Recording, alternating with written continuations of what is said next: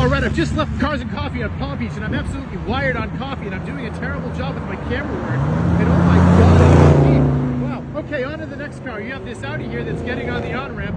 There's a reason why I'm talking like an auctioneer is because I don't know what I'm doing and I've had too much coffee. And I said, oh my god, there's a Mercedes, and here comes a little Toyota Coupe.